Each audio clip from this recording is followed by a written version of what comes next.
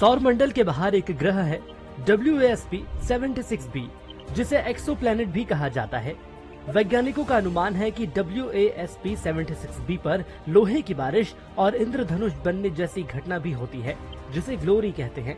इस तरह की घटना को अभी तक सौर मंडल के बाहर डिटेक्ट नहीं किया गया था। वैज्ञानिकों के मुताबिक W A S P seventy six B gas का गोला है। और हमारी पृथ्वी से छह प्रकाश वर्ष की दूरी पर है। इसे 2013 में खोजा गया था।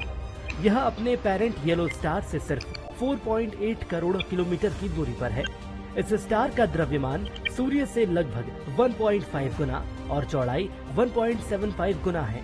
कहा जाता है कि लोहे की बारिश का कारण ग्रह की अपनी होस्ट स्टार से नजदीकी है, जिसकी वजह से ग्रह को लगातार दिन के उजाले का सामना करना पड़ता है।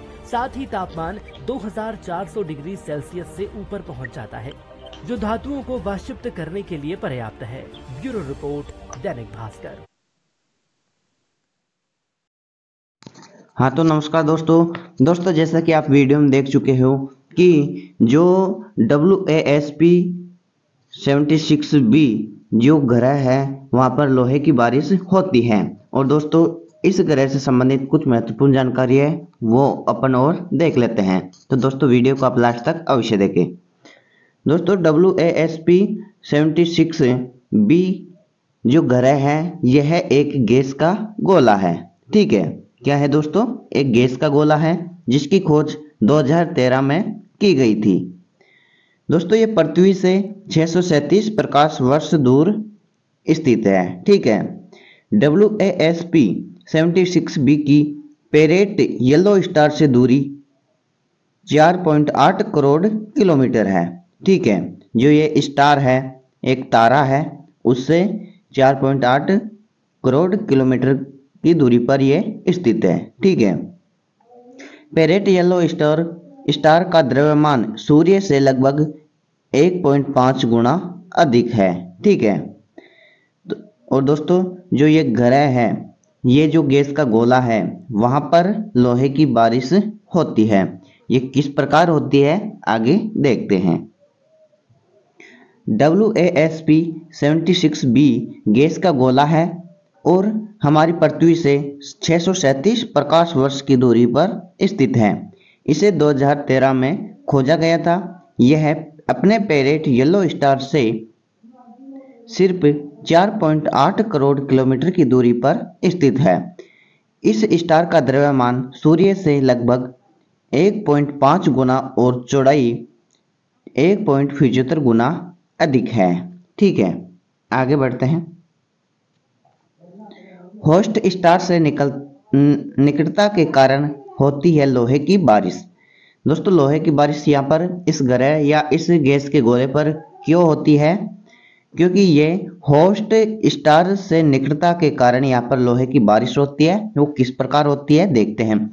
लोहे की बारिश का कारण उसकी अपने होस्ट स्टार से निकटता है।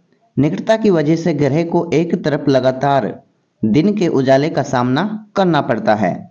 तापमान 2400 डिग्री सेल्सियस से ऊपर बढ़ जाता है, जो धातुओं को वाष्पित करने के लिए पर्याप्त होता है। ठीक है।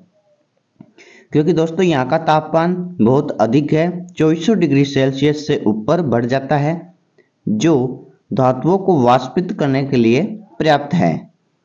W S P seventy six B पर इतने तापमान में लोहे भाप के रूप भाप में बादल बन जाता है। लोहा भाप में बदल जाता है, ठीक है? क्या है दोस्तों? W S P seventy six B पर इतने तापमान में लोहा भाप में बदल जाता है और तेज हवाएँ इस लोहे वाष्प को ग्रह के दूसरे तरफ़ ले जाती है, जहाँ हमेशा ठंडी रात रहती है। इससे आयरन क्लाउड बनते हैं और लोहे की बारिश होती है। क्या है दोस्तों यहाँ पर? आयरन क्लाउड बनते हैं, ठीक है, और लोहे की बारिश होती है। तो दोस्तों, आज का सेशन हमारा यहीं समाप्त होता है। दोस्तों, अगर आपको वीडियो पसंद आए तो वीडियो को लाइक करें, हमारे चैनल को दोस्तों आप सब्सक्राइब अवश्य करें। दोस्तों, ऐसे ही नए नए इंटरेस्टिंग वीडियो देखने के लिए जुड़े रहिए आप हमारे यूट्यूब चैनल के साथ। दोस्तों, जल्दी नए टॉपिक पर नए अंदाज में वीडियो लाएँगे। तब तक जय हिंद, जय भारत।